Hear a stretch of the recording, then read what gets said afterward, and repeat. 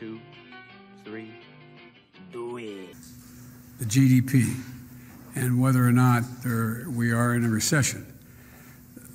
Both Chairman Powell and many of the uh, um, uh, significant uh, banking personnel and economists say we're not in a recession. But let me just give you what the facts are. Number one, of uh, Oh boy, I gotta tell you that that that sounds awful.